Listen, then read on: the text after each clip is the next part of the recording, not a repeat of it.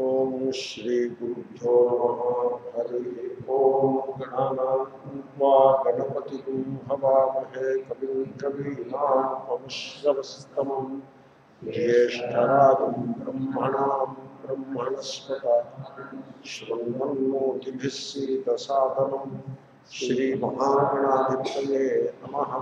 सदाशिवसमारम्भां शङ्कराचार्यबुद्ध्यमाम् अस्मदाचार्यपर्यन्तां वंदे गुरुपरम्पराम्। अर्जुन उवाच। एवं सततयुक्ताये।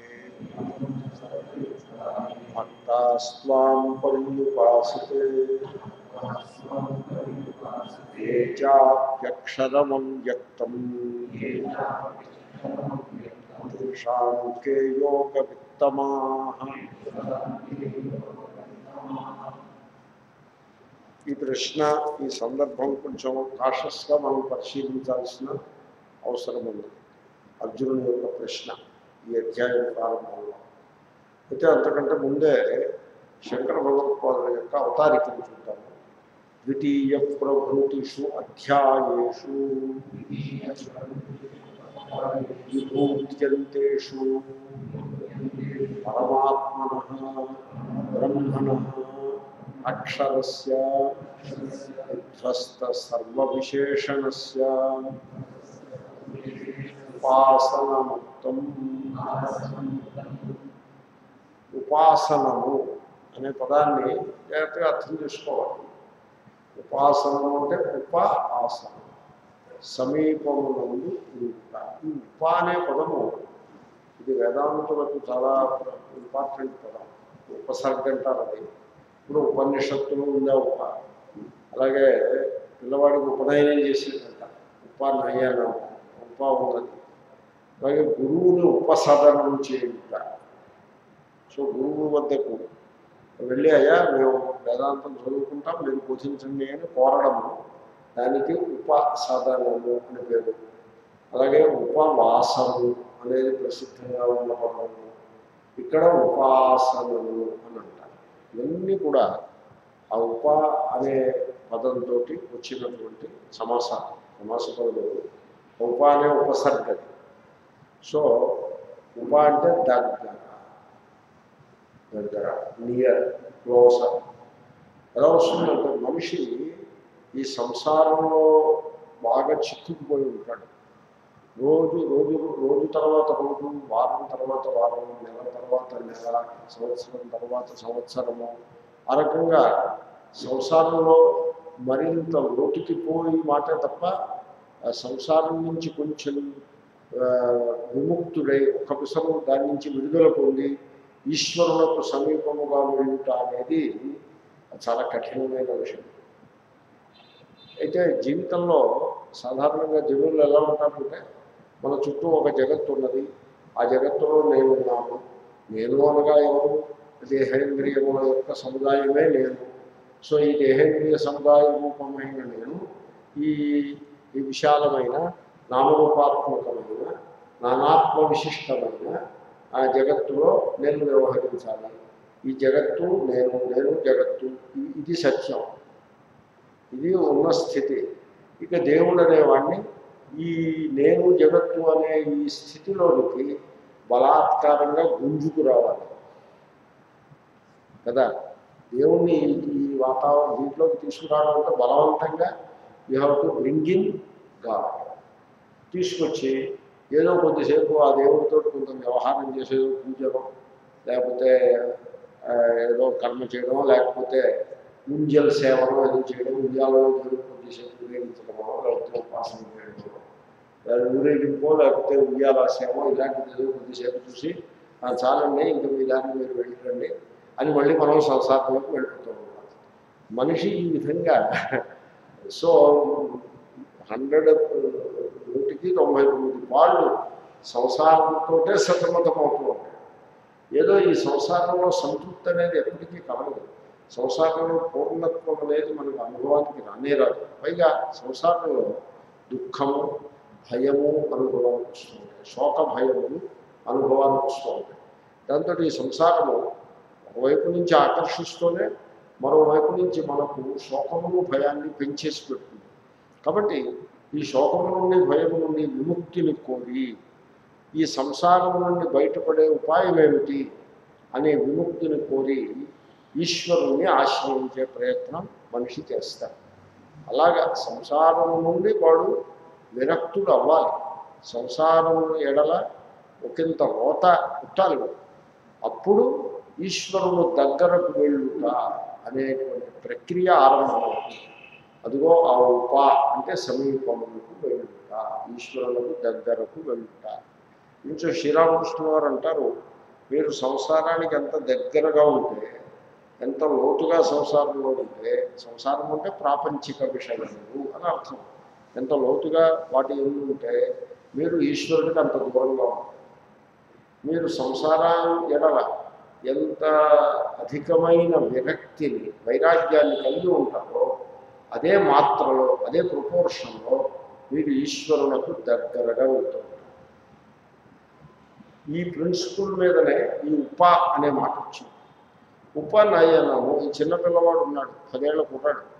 వీడిని వదిలిపెట్టేస్తే వీడు సంసారంలోకి హెడ్ లాంగ్ వెళ్ళిపోతాడు అంటే ఫుల్గా సంసారంలో వెళ్ళిపోతాడు వాడిని వదిలిపెట్టేస్తాడు కాబట్టి వాడికి ఒక ఛాన్స్ మనం కల్పించాలి. ఆ సంసారం నుంచి విముక్తిని పొందటానికి. అందుకోసం ఏం చేస్తాం? వాడిని ఆ ఈశ్వర తత్వానికి దగ్గరకు తీసుకువెళ్తాం. దగ్గరకు తీసుకుపోతాం వాడంతా వాడు వెళ్ళలేడు. చిన్నపిల్లడు కదా. మనం ఎవరో చేపట్టుకు తీసుకెళ్ళాలి. దాని పేరు ఉపనయనము ఉపా నీ ప్రాపణ అనే తప్పు నుంచి నయనము దగ్గరికి తీసుకువెళ్ళాలి.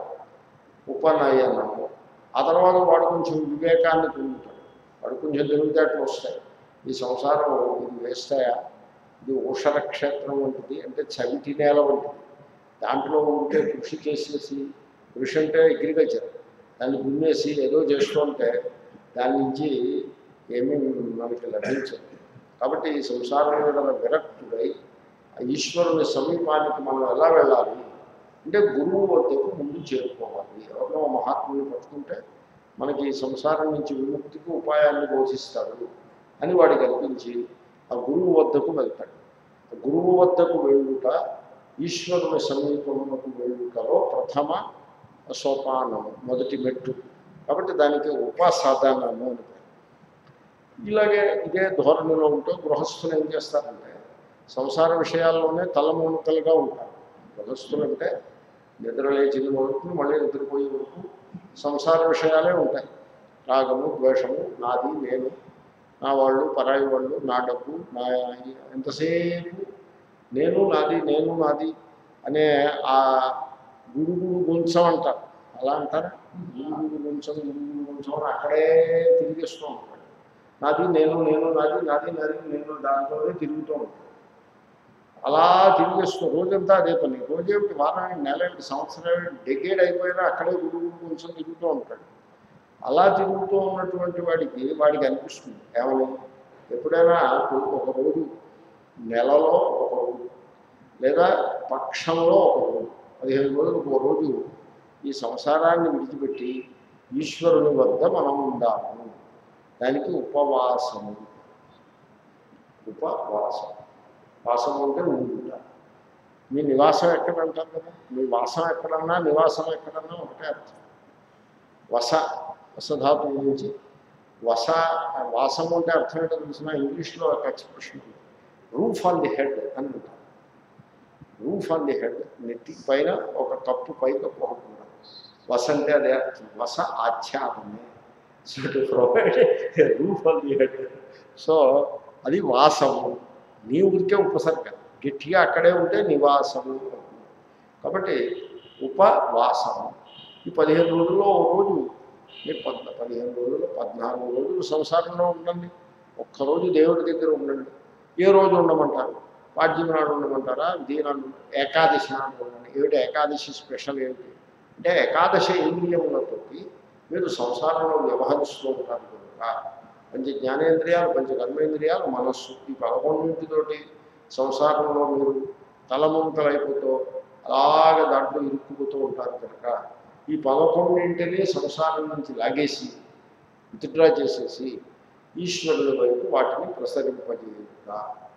దానిని ఉపవాసము అంటారు. ఉపవాసం యొక్క అర్థం అది. వాళ్ళు ఏం చేస్తారంటే ఉపవాసము అంటే అన్నం భిన్నం అంటారు.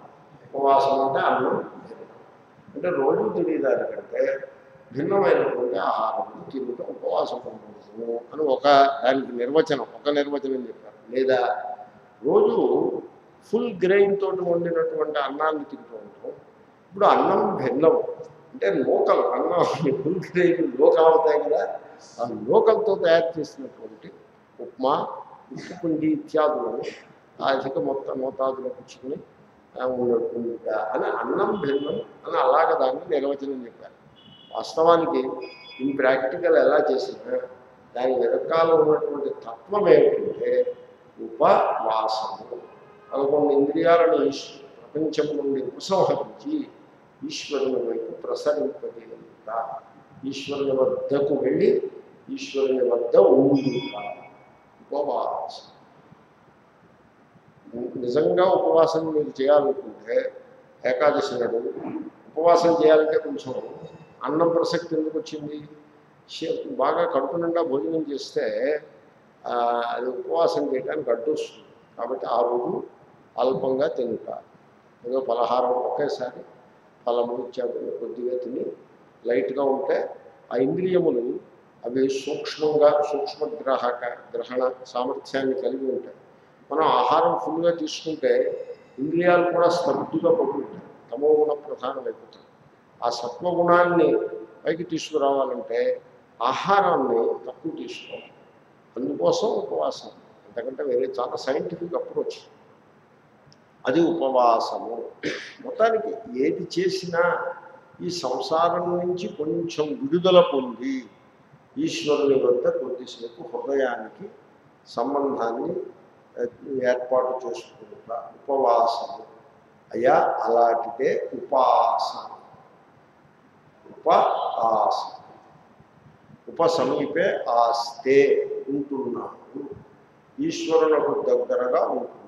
దాన్ని ఉపాసన అంటే ఇప్పుడు మనం ఎక్కడ ఉంటున్నాము? ఇప్పుడు మీ మనస్సు ఎక్కడ ఉందో దేనిపై దేని మీద చింత చేస్తుందో మనం అక్కడ ఉన్నట్టు లెక్క. ఉండడం అంటే మనస్సే శరీరం కాదు. ఇప్పుడు ఓ మహాత్ముడు ఒక ఓ గృహస్థింటికి వెళ్ళాడు. వెళ్ళి ఆ- ఆ గృహస్థుతో ఏదో పనుండి వెళ్ళాడు. అంటే ఆ గృహస్థికి నౌకరు ఒకడు ఉంటాడు. గేట్ గేట్ దగ్గర నౌకరు ఉంటాడు. ఇలా ఫలానా మహాత్ముడు వచ్చాడని చెప్పాయా మీ- సార్కి అంటే మా సార్ ఇప్పుడు పూజలో ఉన్నారు అని ఆ నౌకర్ చెప్పాడు.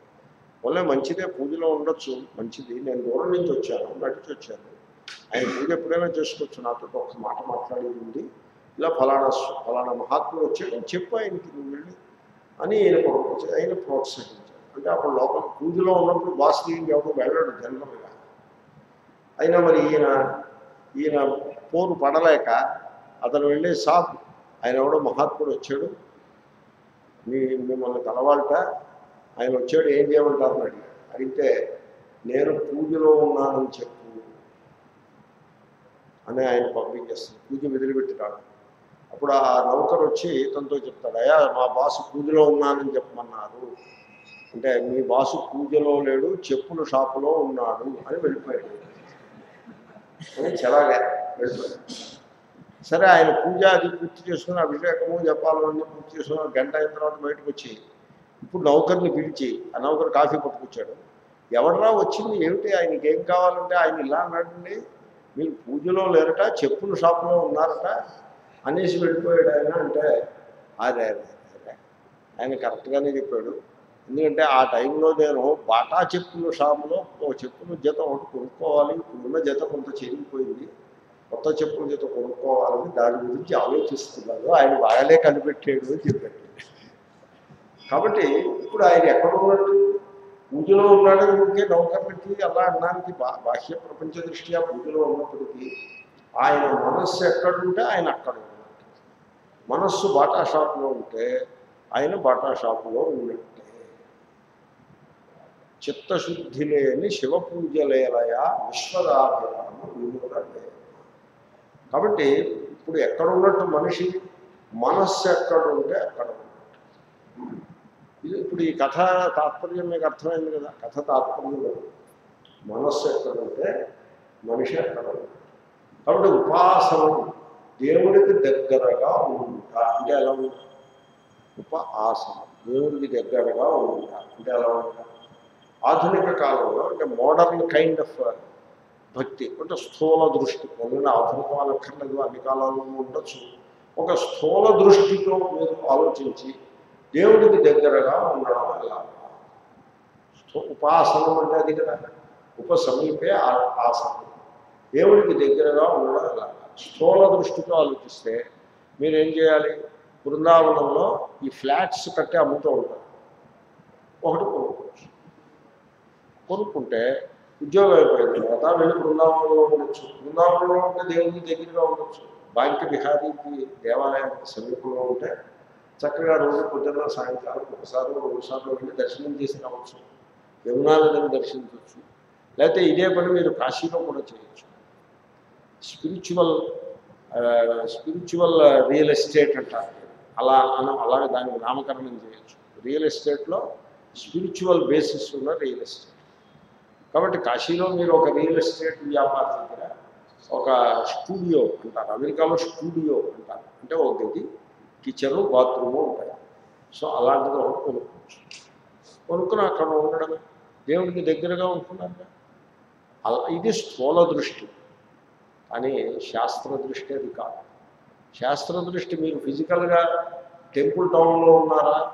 లేకపోతే దేవాలయానికి ఎన్ని వందల గిజాల దూరంలో ఉన్నారు ఎంత దగ్గరగా ఉన్నారు? అది పాయింట్ కానే కాదు. మీ మనస్సు ఉండడమే ఉండడం. ఈ విషయాన్ని రెండో అధ్యాయంలో మొదలుపెట్టి ద్వితీయ ప్రకృతిషు మీ మనస్సు ఈశ్వరునిపై నిలుచుట మనస్సు ప్రవాహం మనస్సు ప్రవాహం. ఎప్పుడు ప్రవహిస్తూ ఉంటుంది నది వలె. ప్రవహిస్తూ ఉంటుంది కాలవ కాలవ ఉంటుంది. ఇప్పుడు ఈ ప్రవాహం అన్నది ఇప్పుడు వై లాంటిది ఇప్పుడు కాలం ఇలా ప్రవహిస్తుంది అనుకోండి అక్కడ వై పెడతారు. అంటే ఇటు ఒక బ్రాంచ్ ఉంది అటు ఒక బ్రాంచ్. ఈ వై పెట్టి ఇక్కడ బండ్ కట్టేస్తారు. లాక్స్ అంట అంటే వాటర్ని లాక్ చేసి పెట్టేస్తారు. అప్పుడు పాట ఎటు ప్రవహిస్తుంది రెండో వైపు సపోజ్ రెండో వైపు లాక్ చేసేసి ఇది ఓపెన్ చేసేటప్పుడు ఇటువైపు ప్రవహిస్తుంది. ఎందుకని? నీరు ప్రవహిస్తూ ఉంటుంది ఇటేనా ప్రవహిస్తుంది అటేనా ప్రవహిస్తుంది? ఇటు అలౌ చేస్తే ఇటు ప్రవహిస్తుంది. అటు అలౌ చేస్తే అటు ప్రవహిస్తుంది. రెండు అలౌ చేశారనుకోండి ఆ నిమ్నతని బట్టి అంటే ఆ పల్లాన్ని బట్టి ఎటు పల్లం ఎక్కువ ఉంటే అటు ఎక్కువ ప్రవహిస్తుంది. ఎత్తు ఉన్న వైపు తక్కువ ప్రవహిస్తుంది లేకపోతే అసలే ప్రవహించదు. ఇది నీటి యొక్క లక్షణం మనస్సు కూడా అంతే. రెండే గతులు రెండే రెండే గమనం రెండే దారులు ఏమిటి? ప్రపంచము ఈశ్వరుడు. రెండే. ఇంక మూడోది లేదు. మీరు మనస్సుతో ప్రపంచము వైపు ప్రవహిస్తూనైనా ఉంటుంది. మనస్సు ఒకవేళ ప్రపంచము వైపు ప్రవహించకపోతే ఈశ్వరుడు వైపు ప్రవహిస్తుంది. మన నిద్రపోవడం అంటే నిద్రపులో మనస్సే లేదు. మనస్సు ఉన్నప్పుడు స్థితి లేదు. మనస్సు ఉన్నప్పుడు మాట లేదు కాబట్టి మనస్సుకి రెండే ప్రవాహాలు. ఈశ్వరాభిముఖమైన ప్రవాహమైన ఒకటి లేదా సంసారాభిముఖమైన ప్రవాహమైన ఒకటి. దీనికే మన మహర్షులు అందమైన నామినిక్లేచర్ పెట్టారు. సంసారాభిముఖంగా మనస్సు ప్రవహిస్తే వాడికి బహిర్ముఖుడు అని బహి ఈశ్వరాభిముఖంగా ఈశ్వరుడు అంటే ఆత్మరూపంగా ఉంటాడు లోపల. ఈశ్వరుడు ఎప్పటికీ వేదాంతంలో భగవద్గీతలో ఉపనిషత్తుల్లో ఈశ్వరుడు ప్రత్యేగాత్మరూపంగానే గ్రహింపబడతాడు. ఇక్కడ ఈశ్వరుడు అంటే అలాగే ఉంటుంది. ఇంకో రకమైన ఈశ్వరుడికి ఇక్కడ ప్రసక్తి లేదు. అలా ఎందుకు చెప్పాల్సి వస్తుందంటే లోకంలో ఈశ్వర పరిభాష చాలా భేద దృష్టి పురస్సరంగా గట్టి పడిపోయి ఉంటుంది. సిమెంట్ గట్టి పడిపోయినట్టుగా కాంక్రీటైజ్ అయిపోయి ఉంటుంది. People are very deeply condition ఏమిటి? ఈశ్వరుడు అనేవాడు మనకంటే భిన్నంగా మనకి దూరంగా ఉన్నాడు అనే ఒక గట్టి కాంక్రీట్ లైక్ కండిషనింగ్లో ఉంటారు జనాలు. ఆ కండిషనింగ్లో గీత పాఠానికి వస్తే అది చాలా ఇబ్బందికరమైన వ్యవస్థ. ఇబ్బంది చాలా ఇబ్బందికరంగా ఉంటుంది. దాన్ని ఆ పాఠం చెప్పడమో కష్టమే వినివాడు వెళ్ళడమో కష్టమే. అయితే జనాలు అన్నింటినీ వినేయడానికి అలవాటు పడుతున్నారు सब कुछ सुन लेते हैं कुछ भी पकड़ नहीं लेते हैं అన్నీ వినేయడం దేన్ని పట్టుకోకపోవడం మళ్ళీ సంసారంలో వెళ్ళిపోవడం కాబట్టి ఏమీ సమస్య లేదు కానీ గట్టిగా పట్టుకోవాలి అనుకున్న వాడికి సమస్య ఎందుకంటే ఇక్కడది ఈశ్వరుని యొక్క వ్యవస్థ వేరే ఉంటుంది మీకు లోకంలో కండిషనింగ్లో ఉండే ఈశ్వరుని యొక్క పరిభాష వేరే ఉంటుంది ఇక్కడ ఈశ్వరుడు అంటే హృదయంలో ఆత్మరూపంగానే ఉంటాడు హార్ట్ ఇస్ ది టెంపుల్ ఇక్కడ మళ్ళీ టెంపుల్ అంటే టెంపుల్ టౌన్ అక్కడ మళ్ళీ ఒక కాంపౌండ్ వాళ్ళు we are not talking of that kind of a situation heart is the temple now you understand అంతర్ముఖ అనే మాటకి అర్థం అవుతుంది. కాబట్టి బహిర్ముఖుడు కాకుండా ఉన్నవాడు అంటే సంసారాభిముఖమైన మనస్సు ఉపసంహారం చేసి విత్డ్రా చేసినప్పుడు ఆ మనస్సు ఈశ్వరాభిముఖంగా అంటే హృదయంలో ఆత్మరూపంగా ప్రకాశించే ఈశ్వరుని వైపు ప్రసరిస్తుంది. అప్పుడు వాడిని అంతర్ముఖుడు అని అంటారు.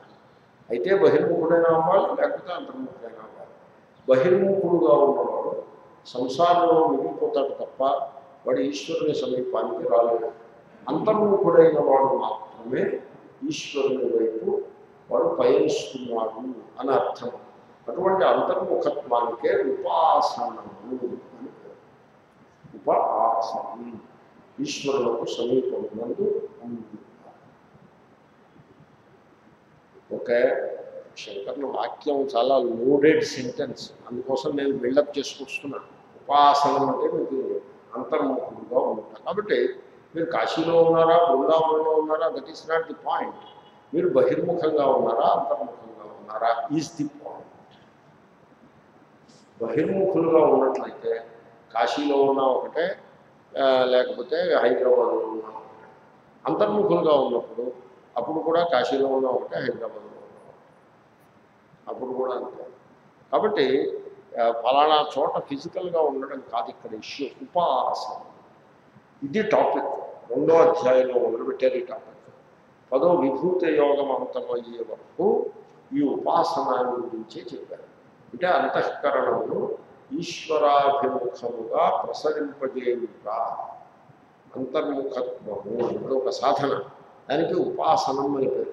అది రెండో అధ్యాయంలో మొదలుపెట్టి పదో అధ్యాయం పూర్తయ్యే వరకు చెప్పారు. అక్కడ ఈశ్వరుడు యొక్క ఉపాసన ఆ ఈశ్వరుని యొక్క లక్షణం ఏమిటి? నిర్గుణ పరబ్రహ్మ ప్రత్యేకమైన అంటే ప్రత్యేగాత్మ అంటే వ్యక్తి యొక్క అంతరతమైన ఆత్మస్వరూపం ఏదైతే కలదో దానికంటే భిన్నము కాని ప్రత్యేక భిన్న ప్రత్య ప్రత్యక్ష కంటే భిన్నము కాని నిర్గుణ పరబ్రహ్మము చెప్పిన మరి అక్కడక్కడ సగుణం కూడా చెప్పారేమో అక్కడక్కడ సగుణం కూడా చెప్పారు. కానీ ఫోకస్ కొడుకు అది దేని మీద ఉన్నది? పరమాత్మ బ్రహ్మణ పరమాత్మ ద సుప్రీం సెల్ఫ్ అంటే the innermost self which is the Brahman Brahman means ఈ ఎంటైర్ యూనివర్స్ అంతటికి అంతటికి కూడా జగత్తుకంతకి కూడా అధిష్టానం. ఏది జగత్తుకంతకి అధిష్టానమో అది ఏ ఇన్నర్ మోస్ట్ సెల్ఫ్గా ప్రకాశిస్తూ ఉన్నది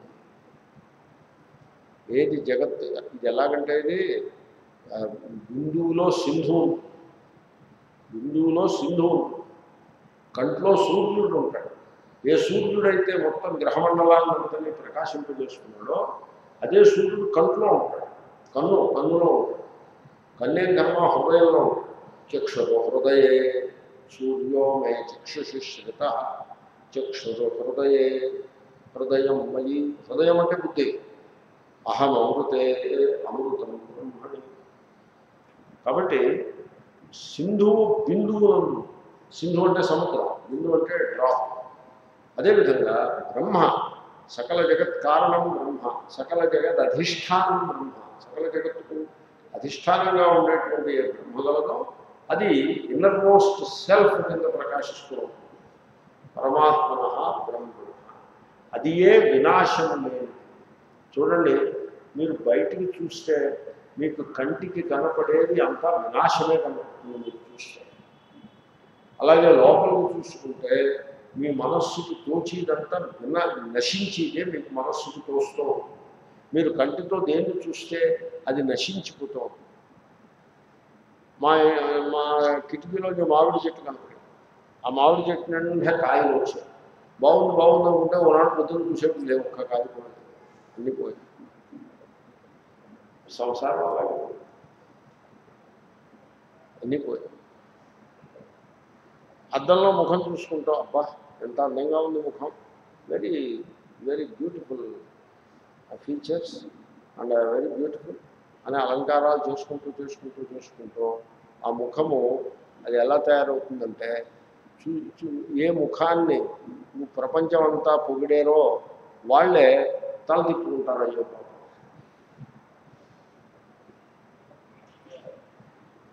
వాళ్ళే. ఎందుకంటే సంసారంలో అన్ని ఫేస్ కాలము ఆ ఒకప్పుడు అదే ముఖము మిస్ యూనివర్స్. కొద్ది కొద్ది రోజుల తర్వాత రెండు మూడు నాలుగేళ్ళు అయ్యేప్పటికీ అదే ముఖము ఎక్స్ మిస్ యూనివర్స్ అయింది. మాజీ మాజీ మాజీ అంటే కాదు అని అర్థం. అనదర్ వే ఆఫ్ తీత అని అంటే తీసేసిన తహసీల్దారు. తీత అని అన్నారు. అంటే తీసేసిన తహసీల్దారు గారు అంటే కాదు ఆయన ఏమీ కాదు ఇప్పుడు అని ఆ రకంగా కాలము సర్వాన్ని కబళించి వేస్తుంది. కాలం యొక్క లక్షణం. శ్రీకృష్ణుడు అన్నాడు అసంగుడుగా ఉండమన్నాడు. అసంగోభవ ఈ సంసారంలో దేని మీద ఆసక్తి పెట్టుకోక అసంగోభవ అంటే అప్పుడు ఆ ఓ ప్రశ్న వేశారు. ఎందుకని? అసంగంగా ఎందుకు ఉండాలి? ఎందుకని ఆసక్తి ఎందుకు పెట్టుకోకూడదు? చూడవా ఆసక్తి పెట్టుకుని నీవు ఎలా పెట్టుకుంటావు? నాది నాది అంటావు. ఏది నాది అంటావో దానిని కాలం కబళించి వేస్తే నువ్వు ఏడుస్తూ కూర్చుంటావు. అందు గురించి నిన్ను ఆ ఏడుపు నుంచి విముక్తుల్ని చేయడం కోసం అసంగంగా ఉండమని చెప్పారు. నీ ఇష్టం నీ ఇష్టం చేసుకో అని అంటాడు. అసంగోభవాన్ని ఎందుకు చెప్పారంటే వీడిని కష్టపెట్టేయాలని అసంగోభవాన్ని అని చెప్పలేదు. వీడు పాపం సంఘం పెట్టుకుంటే ఏడ్చిపోతాడు అని వీడికి కొంత ఏడుపు తగ్గిద్దామని అసంగోభవం ఎందుకంటే హరతి నిమేషాత్ కాల సర్వం. కాలం ఏం చేస్తుందంటే సర్వాన్ని కూడా ఒక సెకండ్లో కబళించి వేస్తుంది ఒక సెకండే ఆ సెకండ్ వరకు పెద్ద క్యాబినెట్ మినిస్టర్. నెక్స్ట్ సెకండ్లో కూర్చుని నహి అలా అది జో దిక్తా హే ఓ టిక్తా నహి మంచి మాట. ఏది కనపడుతుందో అది నిలబడదు. జో టిక్తా హై ఓ దిక్తా నహి నిలబడేదేదో కనపడదు. కాబట్టి మీరు అక్షరము అంటే చుట్టూ వినాశమే వ్యాపించి ఉన్నది. అంతా కనబడే జగత్తంతా కూడా నశించేది కానీ చిత్రం ఏంటంటే ఇక్కడే న్యాక్ ఉండాలి. న్యాక్ కుశల ఆ నేర్పు. ఆ నేర్పు ఏమిటంటే నశించి దాంట్లో నశించనిది దాగి ఉంటుంది. వినశ్యత్ స్వవినశ్యంతం యః పశ్యతి స పశ్యతి. వినశ్యత్సు అన్నీ నశించిపోతూ ఉంటాయి. వాటన్నిటి ఎందు వినాశం లేనిది ఒకటి ఉంటుంది. ఆ భాషలో చూడండి వినశ్యత్సు బహువచనం అవినశ్యంతం ఏకవచనం. ఈ నశించి వాటన్నిటిలో నశించనిది ఒకటే ఇప్పుడు మనందరం ఇలా కూర్చున్నాం. ఈ నామరూపాలు ఈ డిమినర్ అంటే ఈ పోస్చరు ఈ దేహము ఈ ఇంద్రియాలు ఈ నేను నాది ఇదంతా నశించిపోతుంది. ఏది మీరు అలా చూస్తుండగా మనుషులు ముసలి వాళ్ళు అయితే ప్రాణాలు పోగొట్టుకుని వెళ్ళిపోతూ ఉంటారు everybody is going nobody is waiting are అనే సంస్థ కొంతమంది అనుకుంటారు మనం ఇక్కడ ఉన్నాం వెళ్ళిపోయిన వాళ్ళు అక్కడ ఉన్నారు. No that is the wrong description అందరూ అక్కడికే వెళ్ళిపోతున్నారు. రైల్లో ముందు పెట్టే వెనక పెట్టే. ముందు పెట్టిలో ఉన్నవాడికి స్టేషన్ ఆఫీసర్ ముందు వస్తుంది.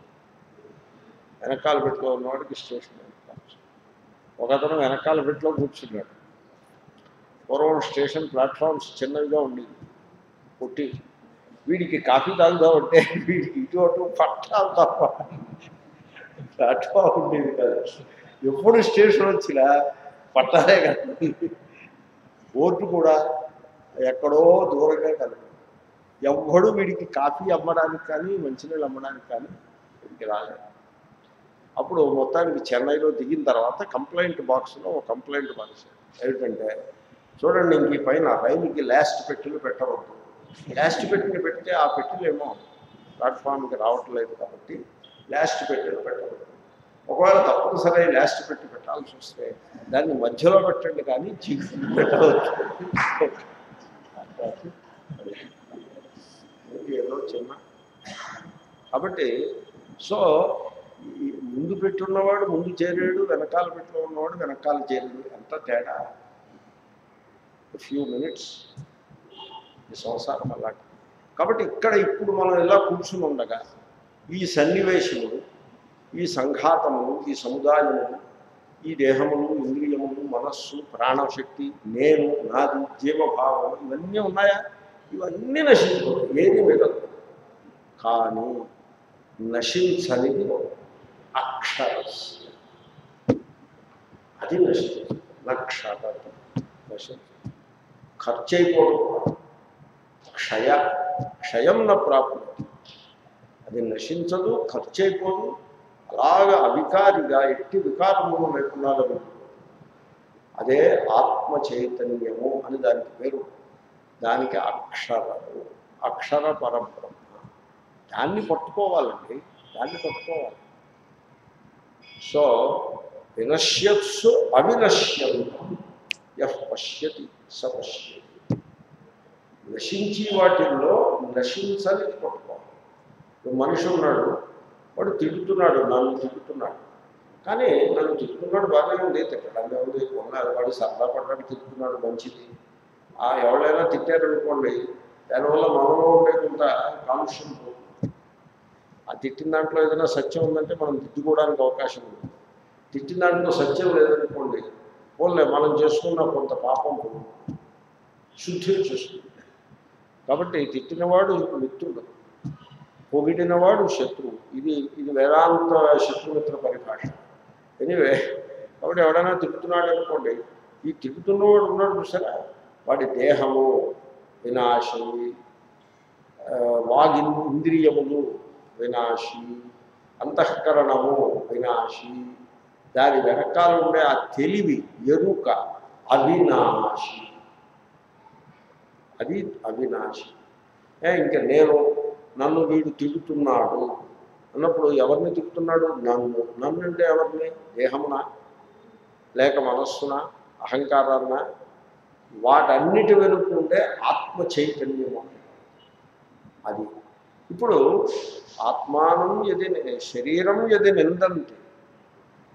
నన్ను అనుగ్రహ ఏమని వాడు నన్ను నా దేహాన్నో మనస్సునో అంత అహంకారాన్నో తిట్టుతూ ఉంటే మంచిది. ఇంకా ఇంకో నాలుగు తిట్లు తిట్టినా కూడా మంచిది. ఎందుకంటే అవి తిట్టదగ్గవే నశించిపోయేవి ఎలాగా? ఆత్మానం ఏదో నిందండి కాదండి బాబు ఆత్మానే అనేది తిట్టేస్తున్నాడు వాడు అంటే స్వాత్మానం. వాడు తిట్టేది నా స్వరూపాన్ని తిప్పుతున్నాడంటే వాడి ఓన్ స్వరూపాన్ని వాడు తిప్పుకుంటున్నాడు. అంటే వాడికి నాకు స్వరూపంలో భేదమే లేదు. కాబట్టి తిట్టి వాడిని చూసి చక్కగా మనం నవ్వుకోవచ్చు. ఎందుకంటే ఏ అంశంలో నాశము కలదో తిట్టడము పొగడము అనేవి ఆ నశించి దానికి చెంది ఉంటాయి. ఆ నశించి దాని వెనుక ఉండే అక్షరమైన తెలివి ఏది కాదో అది తిట్టేది కాదు పొగిడేది కాదు తిట్టబడేది కాదు పొగడబడేది కాదు. నాయం హంతి నహన్యతే. హంతి అంటే ఉంటే ఉపలక్షణం అనధాతు ఉపలక్షణం. సర్వక్రియలకి కర్త కాదు కర్మ. అది అక్షరం. దానిని ఎవడు చూస్తాడు వాడే జ్ఞానం కలదు అటువంటి అక్షరం. కాబట్టి మనం ఏం చేయాలి?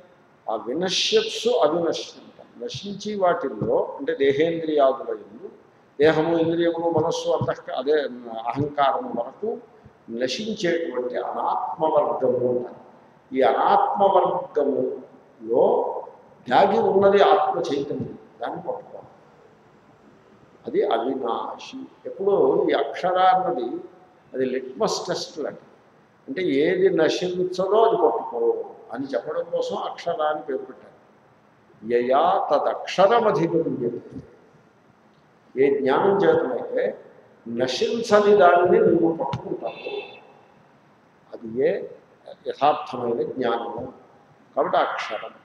ఈ అక్షరము దాన్ని చేరుకునే ఉపాయం ఏమిటి? విధ్వస్త సర్వ విశేషణస్య. విశేషణం అనేది ఉండదు విశేషణము అంటే అబ్జెక్టివ్ ఆర్ రెట్రిబ్యూట్ విశేషణం వేశారంటే దాన్ని సర్వము నుండి విడదీసేది విడదీసేదే విశేషణం. మీరు అలా పెట్టుకోండి. విడదీసేదే విశేషణ. విడదీసేదే విశేషణ. బ్రాహ్మణుడు అన్నారనుకోండి ఆయన అబ్రాహ్మణులందరికంటే భిన్నంగా ఉన్నాడు. కాబట్టి బ్రాహ్మణ అనేది ఏమిటది? విశేషణము కదా.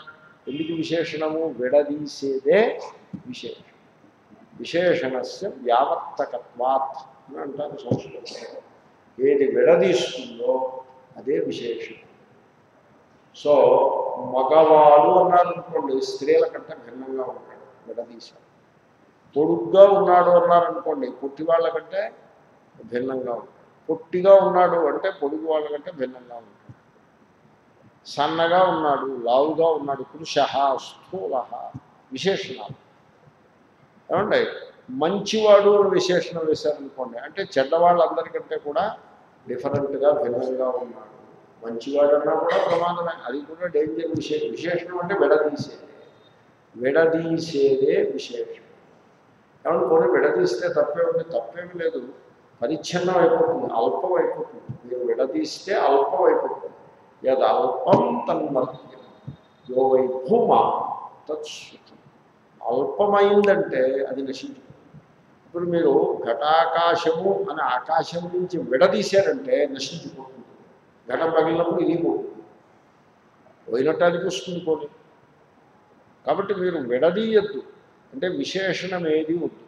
అంటే విశేషణాలన్నింటినీ తిరస్కరించుకుంటూ పోండి. సో అలాగన్నమాట మనోబుద్ధ్యహంకార చిత్తాన్ని నాహం అని మొదలు నమే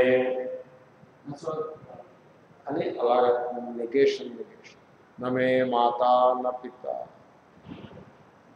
నమే జాతి భేద నమే వర్ణభేద విశేషం అలా విశేషణం విశేషం ఈ విశేషణాలు కొన్ని ఇవి లౌకికమైన విశేషణాలు ఏదో పొట్టిగా ఉన్నాడు పొడుగ్గా ఉన్నాడు ఇవి దేహాన్ని బట్టి వచ్చాయి సమాజ జీవనాన్ని బట్టి వస్తాయి బ్రాహ్మణుడు క్షత్రియుడు ఇలాంటి విశేషణాలు సమాజ జీవనాన్ని బట్టి వస్తాయి ఆ, లేకపోతే పంజాబీ మద్రాసి ఇలాంటి విశేషణాలు వస్తాయి ఇవి చాలనట్టుగా శైవుడు వైష్ణవుడు అని దేవుణ్ణి బట్టి వచ్చిన విశేషణాలు కొన్ని వీళ్ళు పెట్టుకుంటారు. దేవుళ్ళని బట్టి దేవుళ్ళని బట్టి క్రిస్టియన్స్ హిందూస్ దేవుళ్ళని బట్టి విశేషణాలు. ఏమిటో విడదీయడమే పనిగా పెట్టుకుని మనిషి బతుకుతూ ఉంటాడు. ఈ విడదీయడం కొంచెం భారతదేశంలో మిగతా చోట్ల కంటే ఓ పాలు ఎక్కువ అని అనిపిస్తుంది. అలా అనిపిస్తుంది. బ్యాడ్ లక్ అంటే డెమోక్రసీ కొంచెం it is it is passing to a particular phase ఈ ఫేజ్ అయిపోయి కొంచెం సెటిల్ అయిన తర్వాత అప్పుడు కొంత యూనిటీ వస్తే రావచ్చు. ప్రస్తుతానికి break and break and break అన్నట్టుగా నడుస్తూ ఎనీవే ఏది విడదీస్తుందో అదే విశేషం. బ్రహ్మకి విశేషణం వేయకూడదు దేవుడికి విశేషణం వేయకూడదు దేవుడికి విశేషణం వేశారంటే దేవుణ్ణి మీరు మొక్కలు చేసి పెట్టారు ఒక విశేషణం వేశారనుకోండి దేవుణ్ణి ముక్క చేసేసారు ఇంకో విశేషణం వేస్తే ఇంకో రెండు మొక్కలు చేశారు పది విశేషణాలు వేశారనుకోండి వెయ్యి ముక్కలు చేశారు. అదే జామెట్రికల్ ప్రపోర్షన్లో పెట్టుకోండి. టూ పవర్ సిక్స్ విశేషణాలు వేశారు అనుకోండి టూ పవర్ సిక్స్ ముక్కలు చేశారు. ఇప్పుడు దేవుణ్ణి టూ పవర్ ఎన్ చేశారు ఎన్ విశేషణాలు చేశారు. అలాగే two power N two power or ten power ఏదో ఒక పవర్ అలా పోతుంది ఆ విశేషణం. ఏ విశేషణాలు వేయదు ఆకాశానికి ఆకాశం ఎలా ఉంటుంది చెప్పండి. ఆకాశం ఎలా? ఆకాశం ఎలా ఉంటుంది? పొట్టిగా ఉంటుందా పొడుగ్గా ఉంటుందా? లావుగా ఉంటుందా సన్నంగా ఉంటుందా? తెల్లగా ఉంటుందా నల్లగా ఉంటుందా? ఎర్రగా ఉంటుందా పచ్చగా ఉంటుందా? తీయగా ఉంటుందా చేదుగా ఉంటుందా? మంచి సుఖంగా ఉంటుందా దుఃఖంగా ఉంటుందా? మనం అది చెప్పండి అనుకూలంగా ఉంటుందా ప్రతికూలంగా ఉంటుందా? అది చెప్పండి ఎదురుగా ఉంటుందా వెనకాల ఉంటుందా? మన అది విశేషం. మీరు చెప్పండి మీ తెలివితేటలు ఉపయోగించి ఆకాశానికి ఏదైనా ఒక విశేషం చెప్పండి. స్వరూప లక్షణం చెప్పగలుగుతారు తప్ప వ్యావర్తక విశేషణం కుదరదు. అవకాశ ప్రదాతు ఆకాశం అని చెప్పింది అది స్వరూప లక్షణం అవుతుంది తప్ప ఏదో ఒక లక్షణం అవుతుంది తప్ప వ్యావర్తక విశేషణం కుదరదు ఆకాశం. అలాగే ఈ అక్షర పరబ్రహ్మ ఆత్మ చైతన్యం విధ్వస్త సర్వ విశేష. దాని ముందు సకల విశేషణములు కూడా మటాష్ అయిపోయినాయి ఈ మటాష్ అనే మాట ఏ భాషలో తెలుగు ఉర్దూ తెలుగు కాంబినేషన్ అనుకుంటా. ఎందుకంటే విధ్వస్త అన్నదానికి ఎలా ట్రాన్స్లేట్ చేయాలో నాకు తోచక విధ్వస్త విధ్వస్త అనేది దానికి మటాష్ అనేది మంచి మంచి ట్రాన్స్లేషన్ ఏమండి? భాష కొంచెం డౌట్ ఉన్నా ఉర్దూ అయిపోయింది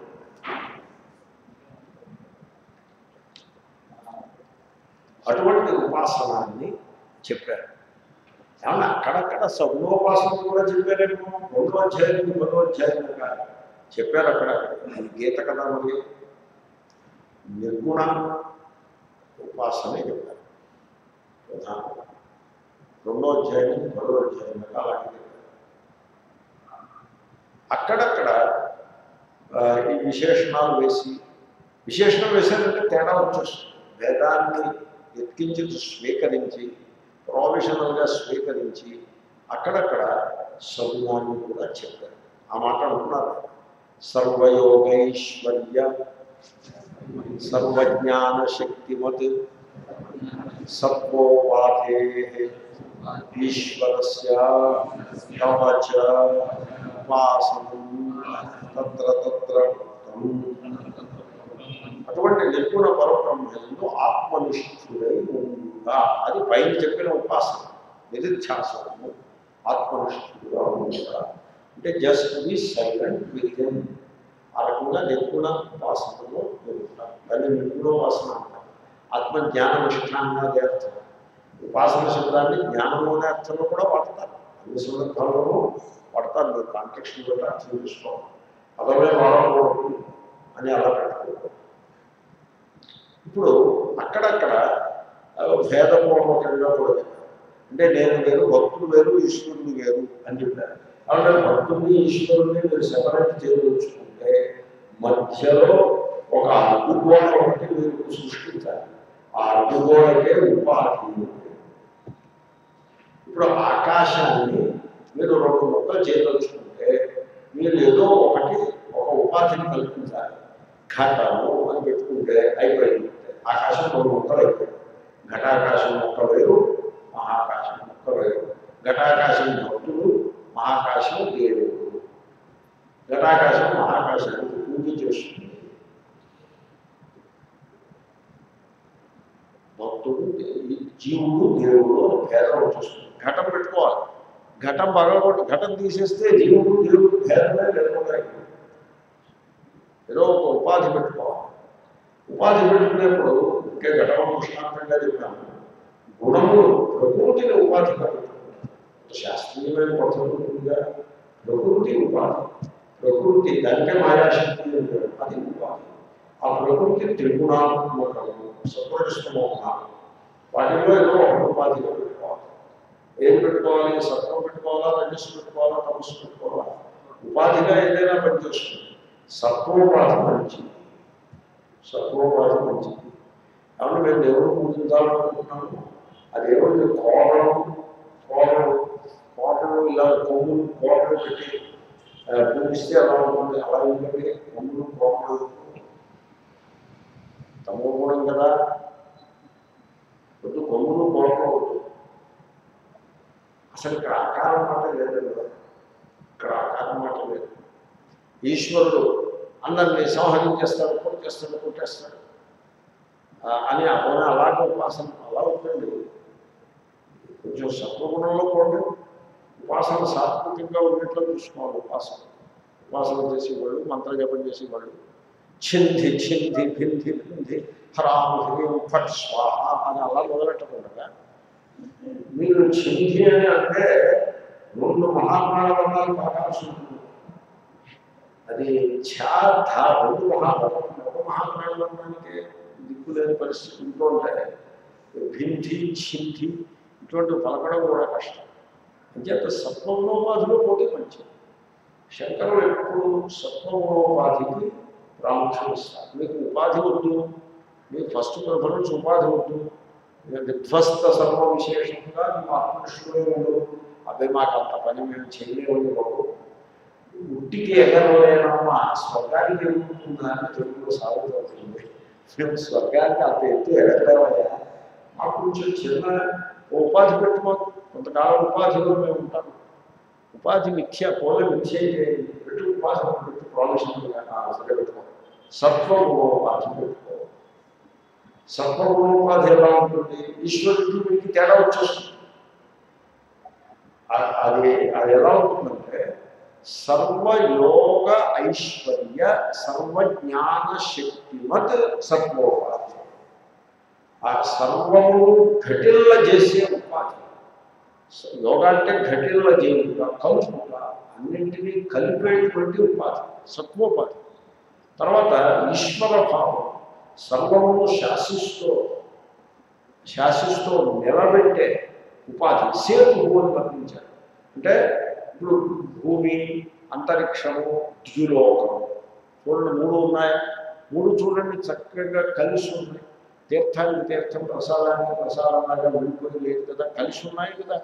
భూమి నుంచి అంతరిక్షము అంతరిక్షం నుంచి ఆ, సూర్యుడు నక్షత్రాలు ఉండేటువంటి ఆ విశాలమైనటువంటి ఆకాశం. అలాగే అన్నీ కలిసి విడిపోయి లేవుగా కొంతమంది పప్పు వండుతారు పప్పు వండిస్తే ఆ పప్పు వస్తుంది నీళ్ళన్నీ ఇంకొక వస్తుంది.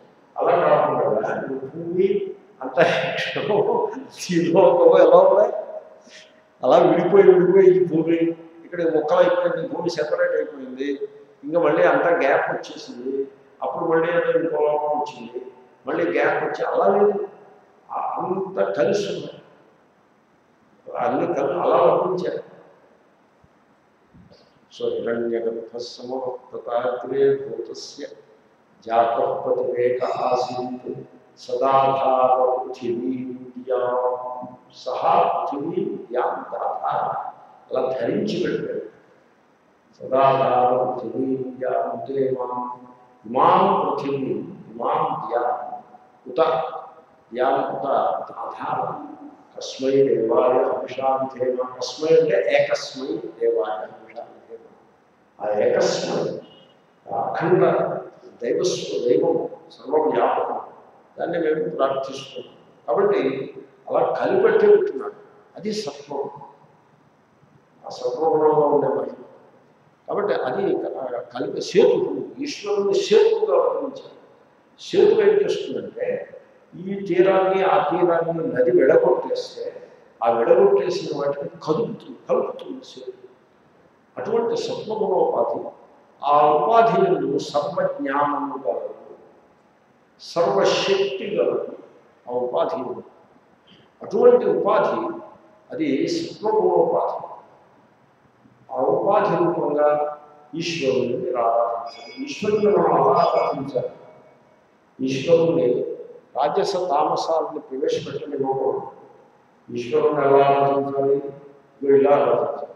ఇది సగుణం సాకారం కాదు. సగుణం. ఇదో ఈ పృథివీ అంతరిక్షం ద్యులోకం వీటినన్నింటినీ వ్యాపించి సత్తాస్ఫూర్తి రూపంగా నిలబెడుతున్నాడు. సకల ప్రాణులందు ఆ ప్రాణశక్తి రూపంగా వ్యాపించి ఉన్నాడు. అని మరి శంకరుడు చెప్పే ఈశ్వరుడు ఇలాగే ఉంటాడు. శంకరుడు యొక్క ఈశ్వరుడు మగవాడు. కాబట్టి అటువంటి ఈశ్వ అక్కడికే సులభం అయిపోయింది. అక్కడికి ఉపాధిని పట్టుకొచ్చారు ఆయన మీరు బలాత్కారం బలవంత పెడితే మా లెవెల్కి దిగి రావాయా బాబు అంటే అప్పుడు ఒకసారి ఉపాధి ఒకటి అడ్డంగా పెట్టి ఆయన దిగి వచ్చి చెప్తున్నమాట అటువంటి సగుణ సగుణ అంటే జీవుడు వేరు ఈశ్వరుడు వేరు భేదము ప్రొఫెషనల్గా ఉపాధిని బట్టి భేదం అక్కడ కూడా ఉపాధి అనే మాట మాట్లాడతారు. భేదము అని చెప్పడం అంటే తాత్కాలికంగా ఒక ఉపాధిని పెట్టుకున్నాము. ఉపాధి ఎప్పుడు కలుగుతుంది ఉపాధి ఎప్పుడు యథార్థం ఉపాధిని బట్టి వచ్చే భేదము కూడా ఇప్పుడు కల్పితమే ఉంది. ఆ కల్పిత భేదాన్ని మనం పెట్టుకున్న కావాలని కల్పిత భేదాన్ని పెట్టుకుని మనం ఒక ఉపాసనని సంభవం చేయడం అలా చేసాం అటువంటి సగుణోపాసన కూడా అక్కడక్కడ భగవద్గీతలో చెప్పబడినది.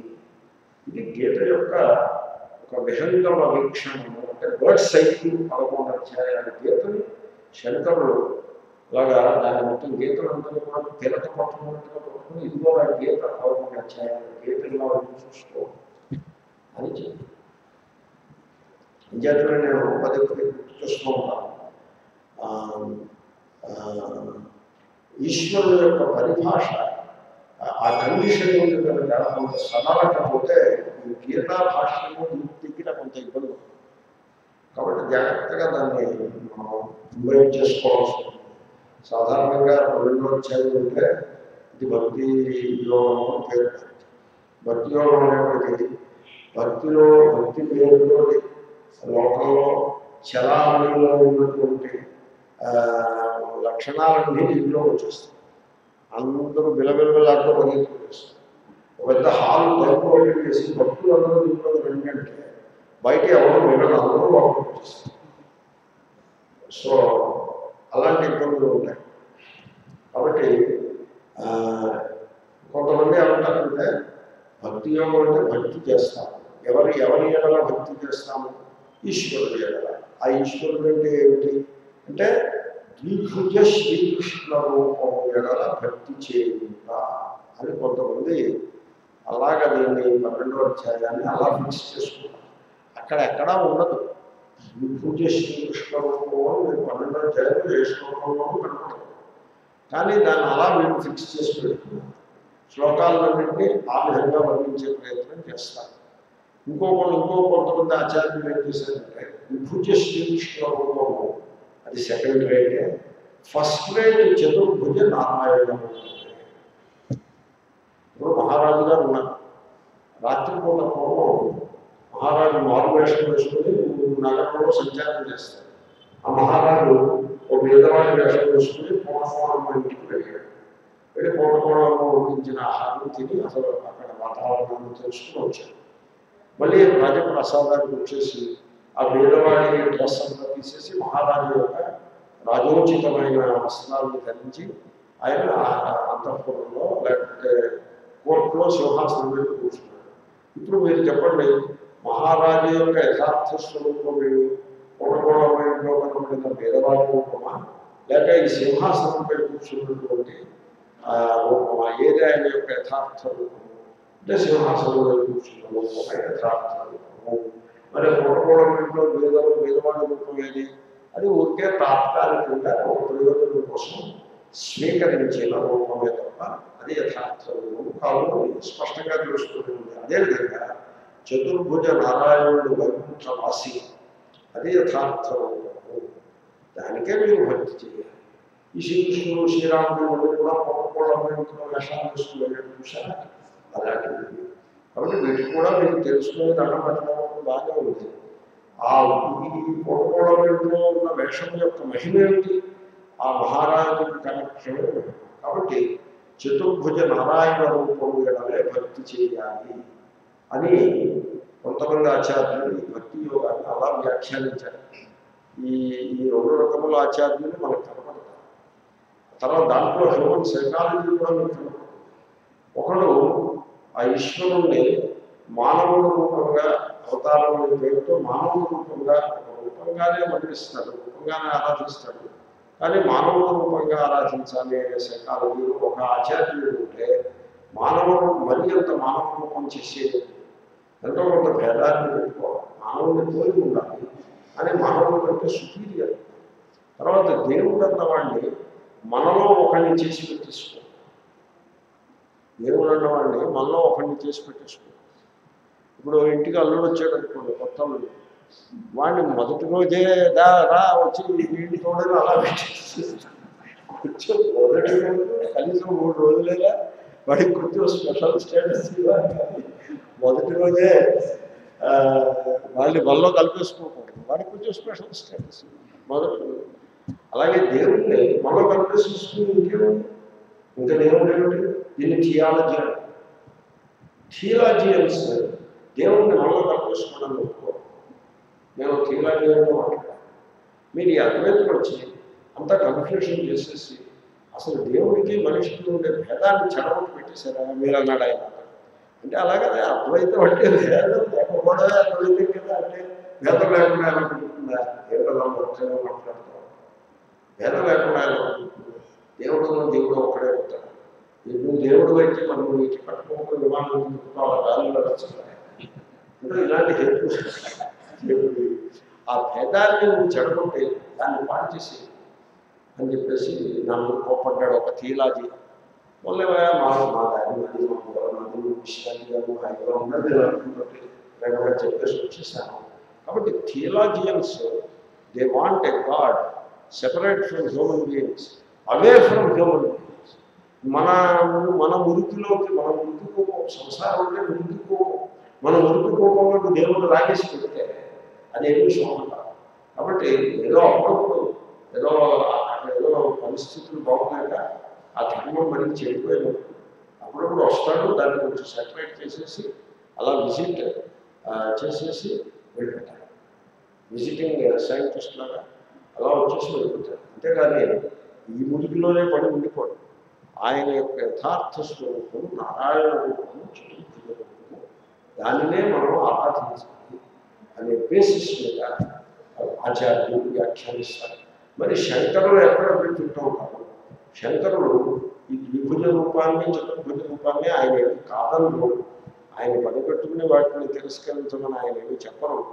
మీరందరూ హరే రామ హరే రామ అని మీరు భజన చేస్తే ఆయన కూడా భజనలో జాయిన్ అవ్వడానికి ఆయనకి అభ్యంతరం ఉండదు బట్ ఆయన కడుపులో మాట చెప్పమంటే ఆయన ఏం చెప్తారంటే చూడవయ విశ్వ విశ్వమూర్తి విశ్వరూపం యొక్క ఉపాసన చేయాలి విశ్వరూపోపాసన చేయి తప్ప విభుజోపాసన చతుర్భుజోపాసన వీటికంటే కూడా విశ్వరూపోపాసనకు ఆయన ప్రాముఖ్యాన్నిస్తారు అంటే అది సగుణంలో ఉంటారు నిర్గుణం నుంచి సగుణం దాకా వస్తారు అంటే సగుణం నుంచి ఇంకో మెట్టు కిందకి దిగి సాకారము అనే మెట్టు దిగాలి ఆ మెట్టు సగుణంలో అంటే కాదండి శంకరాచార్య ఇక్కడ ఏదో స్తోత్రం రాశారు ఇక్కడ హనుమంతుడు స్తోత్రం రాశారు అక్కడ మరో స్తోత్రం రాశారు అంటే ఆ శంకరాచార్యులు అందరూ లేరు అందరూ శంకరాచార్యులే కదా ఇప్పుడు డెబ్బై ఏడో శంకరాచార్యులు ఉన్నారు. అంటే అర్థం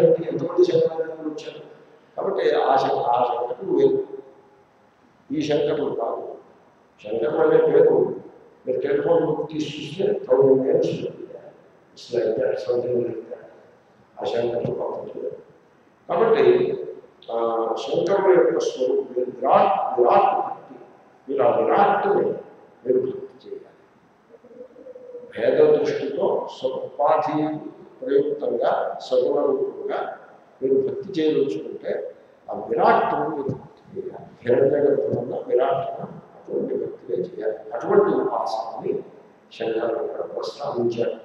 హిరణ్య గర్భుడు అంటే సర్వ యోగైశ్వర్య సర్వజ్ఞాన శక్తివతు సత్వోపాధే సత్వ శుద్ధ సత్వ ప్రధానుడు హిరణ్య గర్భుడు మలిన సత్వ ప్రధానుడు జీవుడు.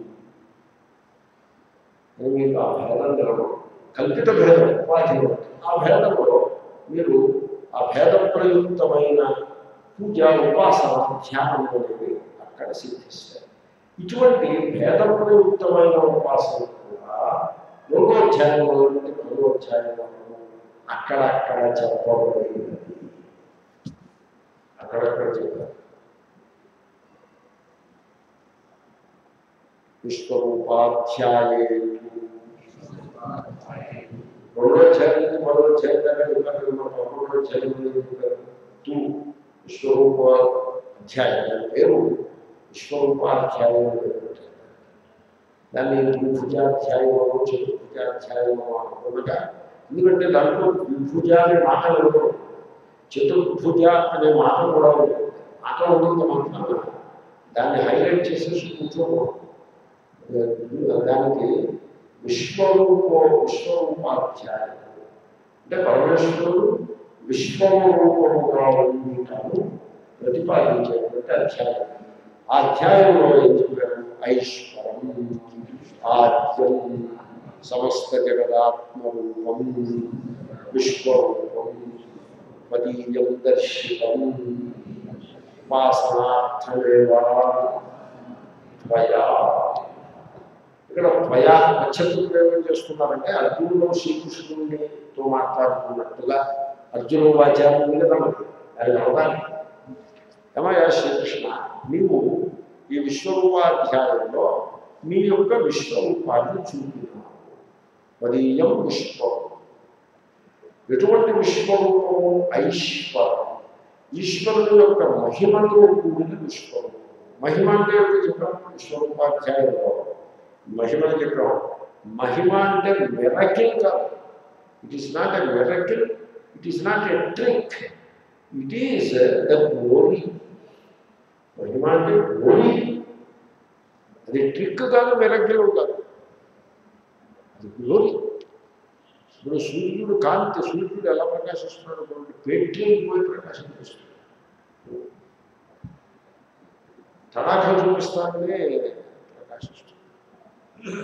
అది అది మహిమ. అంటే భూతద్దం పెట్టారనుకోండి తక్కువ మన కాగితం వండిపోతుంది అది మహిమ అంటే అది ట్రిక్ కాదు. అది మహిమలు ఉన్నాయంటే ట్రిక్కులు ఉన్నాయని ట్రిక్కులు కావు ట్రిక్కులు అంటే అది వేస్ట్ ఎందుకు పనికిరాదు మహిమ అంటే గ్లోరీ సో అటువంటి ఈశ్వరుని యొక్క మహిమతో నిండిన విశ్వరూప దర్శనం. ఈ విశ్వరూపము ఇది ఆద్యం. సృష్ట్యాదియందు ప్రకటమైన రూపము అది ఇది ఈ సృష్టిని సర్గము విసర్గము సర్గము అంటే ఏమిటి? ఆ నిర్గుణ పరబ్రహ్మ నుండి సత్వగుణోపాధి ద్వారా హిరణ్య గర్భుడు ప్రకటమవుతాడు. అది సర్గము. పురాణ పరిభాషలు చెప్పాలంటే విష్ణువు యొక్క నాభి కమలం నుండి బ్రహ్మదేవుడు పుట్టాడు. ఇది సర్గము. ఇంకా విసర్గము అంటే ఈ బ్రహ్మదేవుడు ఈ సకల ప్రాణులను సృష్టించాడు ఇది విసర్గం వేదాంత పరిభాషలో చెప్పాలంటే నిర్గుణ పరబ్రహ్మయుడు సత్వగుణోపాధి ద్వారా హిరణ్య గర్భుడు ప్రకటమవుతాడు. ఆ హిరణ్య గర్భుడు తానే ఈ సకల జగద్రూపంగా ప్రకటమవుతాడు. హిరణ్యగర్భ సమవర్తత అగ్రే అగ్రే సమవర్తత అది సత్యం సదాధారణే అది విసర్గం భూతస్య జాత పతిరేక ఆసీత్ అది విసర్గం. మొట్టమొదటి ఆయన ప్రకటమయ్యాడు ఆ తర్వాత సకల ప్రాణికోటికి ఏకైక ప్రభువుగా ప్రకటమయ్యాడు అది విసర్గం. కాబట్టి అది ఆద్యం. అంటే ఈ సకల జగత్తు ఆవిర్భవించడానికి ముందే ఆ హిరణ్య గర్భుడుగా నీవు ఆవిర్భవించుకున్నావు అలా అనుభవించి ఆ తరువాత సమస్త జగదాత్మరూపం సకల జగద్రూపంగా ప్రకటమైన అదే విశ్వరూపము. అటువంటి నీ విశ్వరూపాన్ని నేను చూపించావు. ఎందుకు చూపించేటంటారు అంటే అర్జునుణ్ణి ఆ, అర్జునుడిని సంతోషపెట్టడం కోసం లేకపోతే అర్జునుడిని చమత్కారం చమత్కారం అంటారు. చమత్కారం చేయడం కోసం లేకపోతే అర్జునుడిని మెప్పు కోసం చూపించాలి. ఎందుకో ఆ స్వరూపాన్ని ఎందుకు చూపించారంటే ఉపాసన మీరు సకల జీవులు కూడా అర్జునుని యొక్క అర్జునుడిని నిమిత్తంగా చేసుకుని విశ్వరూపాన్ని చూపించడం ద్వారా సకల జనులకు సందేశం. చూడండి మీరు మీరు దేవుణ్ణి వెతికే ప్రయత్నం చేయొద్దు. ఈ సకల జగత్ రూపంగా దేవుడే ఉన్నాడు. జగదేవ హరి హరిదేవ జగత్ అని అది విశ్వం. ఆ విధంగా ఉపాసన చేయాలి. కొండ కనపడుతుంది. కొండ కనపడితే ఓహో కొండ రూపంగా ఈశ్వరుడు ఉన్నాడు. మేఘం కనపడితే మేఘం రూపంగా ఈశ్వరుడు వచ్చాడు. వర్ష రూపంగా ఈశ్వరుడు వచ్చాడు. అదిగో ఎండ సూర్యుడు రూపంగా ఈశ్వరుడు రాత్రి చంద్రుడు రూపంగా ఈశ్వరుడు నక్షత్రాల రూపంగా ఈశ్వరుడు ఒక యంగ్ మ్యాన్ వెళ్తున్నాడు ఆ రూపంగా ఈశ్వరుడు మన కుమార ఉత్తవా కుమారి ఇదంతా లేడి ఆ రూపంగా ఈశ్వరుడు త్వం జీవో దండే వచ్చేసి నీవు ముసలివాడవై కట్టె పట్టుకుని కుంటుకుంటూ వెళ్తున్నావు త్వం నీవే త్వం స్త్రీ త్వం కుమార్ త్వం సర్వ భవసి అటు ఏదో ఉంది మంత్రం ఋగ్వేద మంత్రం గుర్తు మంత్రం గుర్తురాలేదు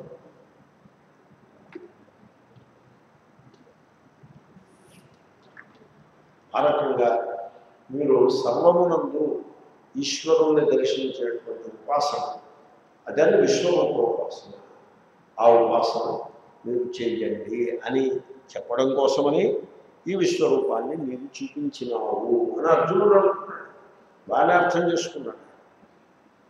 అర్జునుడు అంటున్నట్టుగా శంకరుడు అర్థానికి బిల్డప్ చేసుకున్నాడు తచ్చ దర్శయత్వ తవానసి మత్కర్మకృత్ ఇత్యాది ఆ విశ్వరూపాన్ని చూపించి ఏ అర్జున ఈ విశ్వరూపం చూసావు కదా నువ్వు ఈ విధంగా భక్తిని చెయ్యి అని కూడా చెప్పావు నువ్వు.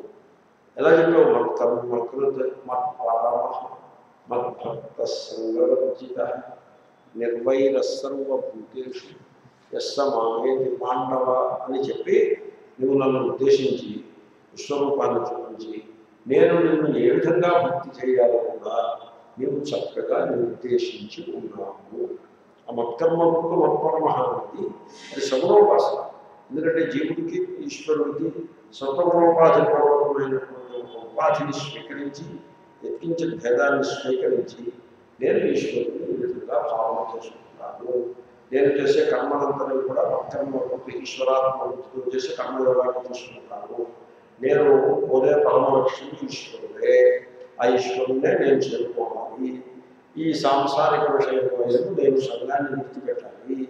ఏ ప్రాణి కూడా నాకు వైరము అనవసరము వైరము పనికిరాదు. ఎందుకంటే ఆ ప్రాణిలో ఉన్న దేవుడే ఉంటాడు కనుక వాడి మీద వైరము పనికిరాదు.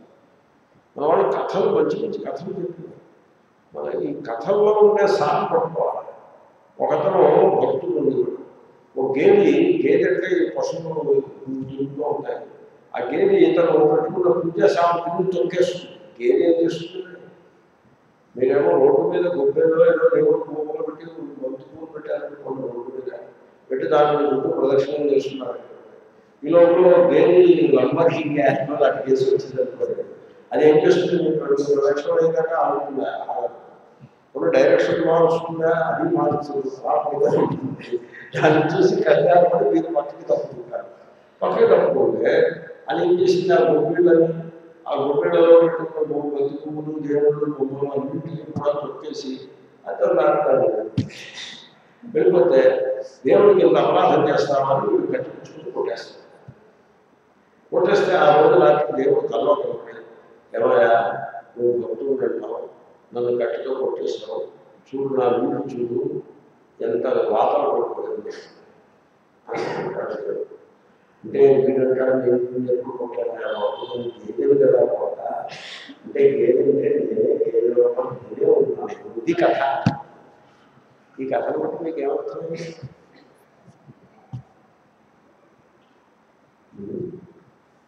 కాబట్టి మొత్తం అసలు నిర్వైన సర్వభూతులు సకల ప్రాణుల యొక్క కూడా వైరము అది ఆ విశ్వరూపోపాసనకి చాలా ప్రధానమైన లక్షణం. ఆయన ఎవరో మహాత్ముడు గొప్ప భక్త శిఖామి నామదేవో ఎవరో. ఆయన చపాతీలు పెట్టుకుని సబ్జీ ఓపెన్ చేసి పెట్టుకున్నాం మంచి మంచినీళ్ళు తెచ్చుకునేటువంటి కుక్క ఈ రెండు చపాతీలు లాక్కుని వెళ్ళిపోయింది వెళ్ళిపోతే ఈయన కుక్క వెంట ఈయన పరిగెడతారు ఈ తల్లి కూస్తున్నాడే వాడు అదనుకుంటాడు ఈయనేమిటి అయ్యేదో చపాతీలు చేతి సబ్జీ లేకుండా చపాతీ రుచిగా ఉండదు ఇక సబ్జీ నువ్వు తీసుకోలేదు ఓ సుమకమ్మా, నీవు సబ్జీ తీసుకోకుండా చపాతీ మన ప్రయోగపడిపోయావు అది సబ్జీ అందించడానికి ఈయన పరిగెడుతున్నాడు నిర్వైన సర్వభూతి వైరం అనేది లేదు లేదు నో వైరం వైరం ఉండక్కర్లేదు ఒక కథ అసలు ఆధునికులాగా అడుగుతారు ఆధునికులు ఆధునికులు అంటే లౌకికులు వైరం లేకుండా ఎలా పుట్టుతుంది అని అడుగుతారు నేను మీకు ఒక కథ చెప్తా అంటే నేను కొంచెం డైగ్రెస్ అయి చెప్తున్నా ఆ శ్లోకం చెప్పాను మళ్ళీ ఆ శ్లోకానికి రెఫరెన్స్ వచ్చింది కదా ఆయన రామదేవ్ చంద్రభాగాలలో స్నానం చేయడానికి పెట్టాడు స్నానం చేసి మెట్లు అలా ఎక్కాలి ఆ చంద్రభాగాలు ఎవరో తెలుగు ఇంకెప్పుడు చదువుతారు అది ఏంటంటే చదువుతారు ఆ ఎక్కి వచ్చేప్పటికి ఎవరో ఒక అల్లరి రౌడీ ఒకడు. ఈ రౌడీకి ఏమిటంటే కొంచెం శారీజం అంటే ఎదరవాడిని దుఃఖపెట్టి తను సంతోషిస్తారు ఈ మీద మట్టి వేస్తారు. మట్టి వేస్తే వాసుదేవ వాసుదేవ అనుకుంటూ వెళ్ళి స్నానం చేసి మళ్ళీ మట్టి వేస్తారు. మళ్ళీ వాసుదేవ వాసుదేవ అక్కడ ఏదో కౌంటర్లు అని ఉంటే అది మారుస్తారు మళ్ళీ వాసుదేవ వాసుదేవ అనుకుంటూ మళ్ళీ స్నానం చేసి వస్తారు ఈ రకంగా పదకొండు సార్లు వీడు మట్టి వేస్తారు. పదకొండోసారి ఆయన స్నానం చేసుకుంటే అప్పటికి వీటి పశ్చాత్తాపం అప్పుడు అతను వీడికి ఇతనికి పాదాభిమానం చేయబోతాడు.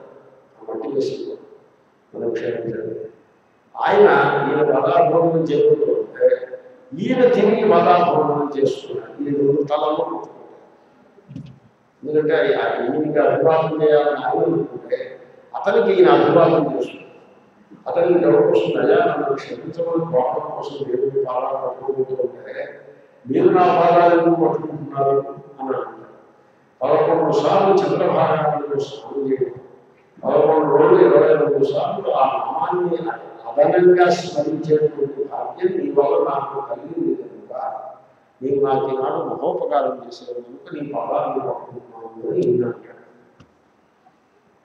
వైరానికి తామేమిటి వైరానికి తాము నిర్వైర సర్వభూతేషు అది విశ్వరూపోపాసన యొక్క యాసిడ్ టెస్ట్ ప్రధాన లక్ష్యం సో ఈ విధంగా నువ్వు నాకు ఉపదేశించడం ఏ విధంగా భక్తిని చేయాలి అనే విషయాన్ని కూడా నీవు నాకు ఉపదేశించావు. అత అహం అనయో ఉభయో పక్షయో విశిష్టతరబుభుత్సయా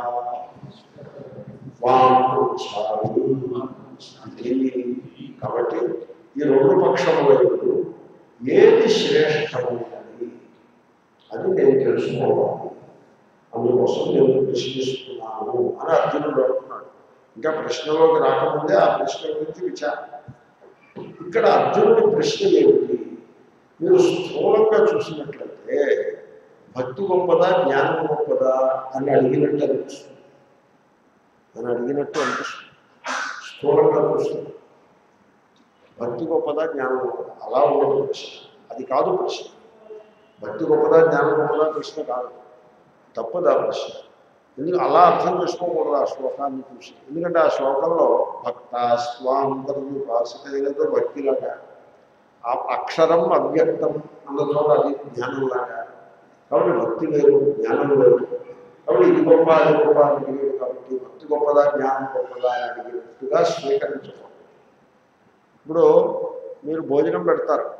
ఆకలిగా ఉన్నవాడికి భోజనం పెడతారు. భోజనం పెట్టినప్పుడు పప్పు గొప్పదా పెరుగు గొప్పదా చెప్పండి. ఏమైంది ఏం ప్రశ్న? అలా ఉంటుందా ప్రశ్న? తప్పు కదా ప్రశ్నది అలా అడగకూడదు. మీరు పప్పు తింటారా పెరుగు తింటారా అని అడిగినట్టుగా లేదు. పప్పు తినేసి ఆ తర్వాత అంతేగాని అలా ప్రశ్న తప్పు. భక్తి గొప్పదా జ్ఞానం గొప్పదా ఏమిటి? భక్తి గొప్పదే జ్ఞానము గొప్పదే. ఇప్పుడు బిఎస్సి గొప్పదా ఎంఎస్సీ గొప్పదా? ఏది గొప్ప? అంటే నేను అడిగాను నువ్వేం చదువుతున్నావు? నేను బీఎస్సీ థర్డ్ ఇయర్ చదువుతున్నాను అయితే బీఎస్సీయే గొప్ప? నేను బీఎస్సీ ఫస్ట్ క్లాస్లో పాస్ అయ్యాను. అయితే బీఎస్సీ గొప్ప కాదు ఎంఎస్సీ గొప్ప. అలా ఉంటుంది కానీ భక్తి గొప్ప జ్ఞానం గొప్ప అని ప్రశ్న కాదు. ఇంకొకటి సగుణము గొప్పదా నిర్గుణము గొప్పదా? అది కూడా ప్రశ్న కాదు. అది కూడా ప్రశ్న బంగారం గొప్పదా ఆ బంగారంతో చేసిన నెక్లెస్ గొప్పదా ఏది గొప్ప? నెక్లెస్ గొప్ప అంటే అయితే బంగారం లోపల బాగా తీసుకెళ్ళి. కాబట్టి అది కూడా ప్రశ్న. ఎందుకంటే అసలు ఆ రకంగా రెండు రెండు వేర్వేరు అని ముందు కల్పించడం. ముందు వాటికి రెండు వేరు వేరు. భక్తి వేరు జ్ఞానం వేరు అని ముందు వాటికి రెండు ముక్కలు చేయడం. అప్పుడు ఆ రెండు ముక్కల్లో ఏ ముక్క ఒక ఆయన నన్ను అడిగారు నేను లక్ష్మణ్ ఎవరు శివుడు గొప్ప విష్ణువు గొప్ప అడిగితే నేను చెప్పాను చూడండి నేను కానీ మా నాయనగారు కానీ మా తాతగారు కానీ నాకు కలిసి మా వంశంలో ఒక నాలుగు తరాల వాళ్ళు కూడా. ఆ అటు శివుని కలిసిన పాపాలు అనుకోవాలి కృష్ణుని కలిసిన పాపాలు అనుకోవాలి కాబట్టి మా వాళ్ళకి తెలియజేస్తారు మీకేమన్నా తెలుసుకుంటే చెప్పండి. ఎందుకంటే ఆ ప్రశ్న ఎక్కడి నుంచి వచ్చింది? అప్పుడు సూక్ష్మంగా పరిశీలించాలి. హ్యూమన్ సైకాలజీలో ఉండేటువంటి మిస్టేక్ని సూక్ష్మంగా పట్టుకోవాలి. శివుడు గొప్ప విష్ణువు గొప్ప అని అడిగేటంటే వాళ్ళు ముందు దేవుణ్ణి రెండు మొక్కలు చేశారు. ఓ మొక్కకు శివుడిని పెట్టాడు? ఇంకో మొక్కకు విష్ణువుని పెట్టాడు. ముందు రెండు మొక్కలు ఇవ్వాలి అప్పుడే ప్రశ్న ఉదయిస్తుంది. అలాగే సాధనని రెండు ముక్కలు చేయాలి. జ్ఞానము భక్తి అని రెండు ముక్కలు చేయాలి. అప్పుడే ప్రశ్న ఉదయిస్తుంది సాధన జ్ఞానము భక్తి ఇప్పుడు అమ్మగారు అన్నం భోజనం వడ్డించారు. భోజనం మీరు తృప్తిగా భోజనం చేశారు ఆ భోజనం ఎంతో బాగుంది. ఇప్పుడు ఆ భోజనం తయారు చేయడంలో అది జ్ఞానమా భక్తి? జ్ఞానం అంటే తెలుసు ఉండడం భక్తి అంటే ప్రేమ.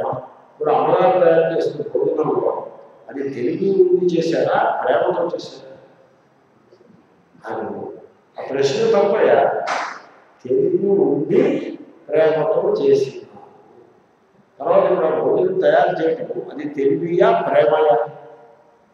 ప్రశ్న తప్పు. అది తెలివితో కూడిన ప్రేమ ప్రేమతో కూడిన తెలివి. ఇంకా అసలు కరెక్ట్గా చెప్పాలంటే ఏది ప్రేమయో ఏ తెలివి? ఏది తెలివియో? అది ప్రేమ అని చెప్పాలి. అద్వైతంలో పోతే కానీ మీకు మీకు గతి దొరకదు దారి దొరకదు కాబట్టి జ్ఞానం గొప్ప భక్తి గొప్ప అనే ప్రశ్న తప్పు. సగుణం గొప్ప నిర్గుణం గొప్ప అనే ప్రశ్న తప్పు. ఎందుకంటే నిర్గుణమునందు ఒక ప్రొఫెషనల్గా మీరు ఉపాధిని పెడితే సగుణం వచ్చింది. దీంట్లో గొప్ప తక్కువ ప్రసక్తి కాదు. మరి ఏమిటి ప్రశ్న? ప్రశ్న ఏమిటంటే చూడండి సగుణోపాసనని అక్కడక్కడ చెప్పారు. నిర్గుణోపాసనని మీరు హైలైట్ చేసి చెప్పారు. నాకు ఈ అర్జునునకు ఏది సుగమము? అది ప్రశ్న సుగమము which is more comfortable and favourable to me అది ప్రశ్న. ఎస్ ఈ ప్రశ్న పర్ఫెక్ట్ ఆ ప్రశ్నకి ఇంకా తిరుగులేని ప్రశ్న. అర్జునుడు.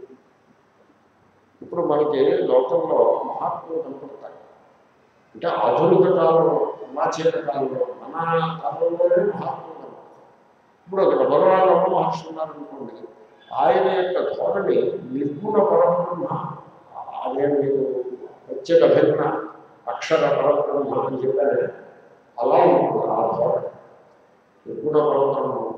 ఆయన ఏమి సౌనాన్ని కాదరు రామనామాన్ని ఏమీ కావాలి. కానీ ఆయన ఆత్మనిష్ట ప్రత్యేక భిన్న ప్రవర్తన ఆయన ఫోకస్ వాల్యూ ఏమంటే ఆ, శ్రీరామకృష్ణుడు వారు ఉన్నారనుకోండి ఆయనది నిర్గుణము సగుణము రెండు ఉంటాయి కానీ సగుణము వైపు మొగ్గు ఎక్కువ. సగుణం వైపు మొగ్గు ఎక్కువ. నిర్గుణం పాలు తక్కువ సగుణోపాసనకి మొగ్గు ఎక్కువ. ఆయన కాలంలోనే శ్రీరామకృష్ణ వారు అనేక సార్లు ప్రస్తావిస్తారు బ్రాహ్మణ సమాజం ఉంది. ఎవరో పెద్ద ఫిలాసఫర్ దాన్ని స్టార్ట్ చేశారు నాకు గుర్తు రాజా రామ్మోహన్ రాయ్ ఒకడు. అలాగే ఇంకా పెద్ద పెద్ద వాళ్ళు కలిసి బ్రాహ్మణ సమాజం ఉంది. వాళ్ళు నిర్గుణం. వాళ్ళు రామకృష్ణుడు వాడిని సగుణంగా నిర్గుణంతో సరిపడుతుంది కదా అని అడిగేవారు. కానీ ఈయన మాత్రం వాళ్ళ నిర్గుణాన్ని ఎప్పుడు కారణంగా ఆయన used to happily accommodate whereas they used to have trouble with his ఆయన మొగ్గు సౌనం వైపు ఏ హనుమాన్ ప్రసాద్ పొద్దార్ జయదయాల్ గోవిందక స్వా- స్వామి రామసుదాస్జీ మహారాజ్ ఇటువంటి మహాత్ములు ఉన్నారు వీళ్ళ మొగ్గు సగుణం వైపు ఎక్కువ నిర్గుణం చాలా తక్కువ ఒకవైపు మొగ్గు చూపిస్తారు అందరూ మహాత్ములే. ఇప్పుడు ఇక్కడ సగుణమా నిర్గుణమా ప్రశ్న కాదు. నాకు ఏది సుగమం? ఇప్పుడు వంకాయ కూర బాగుంటుందా బీరకాయ కూర బాగుంటుందా? అంటే చూడండి అలా కాదు. వీడు రోగం పట్టి లేచాడు బీరకాయ కూర మంచిది. పెళ్ళివారు వస్తున్నాడు బీరకాయ కూర వేసి వాళ్ళని చెప్పి మన వల్ల కాదు వంకాయ కూర చేసేసి దాంట్లో అంత కారం కట్టిన వాడేసి ఆయిల్ ఎక్కువ పోసేసి వడ్డించేసేయండి వాళ్ళకి అదే శాస్త్రీయ అది perfect. వంకాయ కూర. అప్పుడే రోగం పళ్ళు లేచిన వాడికి బీరకాయ. అది చూసుకోవాలి కానీ ఏ కూర గొప్పది ప్రశ్న తప్పసలు కాబట్టి అర్జునుడికి ఏది సుఖము? స్వామి రామసుదాస్జీ మహారాజు భవనంలో పోతే మంచిదా? లేకపోతే నిసర్గదత్త మహారాజు ధోరణిలో పోతే మంచిదా? అర్జునుడికి అది ఏది మంచిదని కాదు. మీరు అర్థం చేసుకున్నారా పాయింట్? చాలా సూక్ష్మంగా నిసర్గదత్త మహారాజు గొప్ప లేకపోతే రామసుదాస్జీ మహారాజు గొప్ప అని అడిగారంటే యునిస్ని హోతుంది ఆ ప్రశ్నే తప్పు. ఇద్దరు కూడా గొప్ప మహాత్ములు ఆత్మస్వరూపులు. నా ప్రాణానికి వాళ్ళలో ఎవరు అనుకూలు నాకు ఏది సుగమము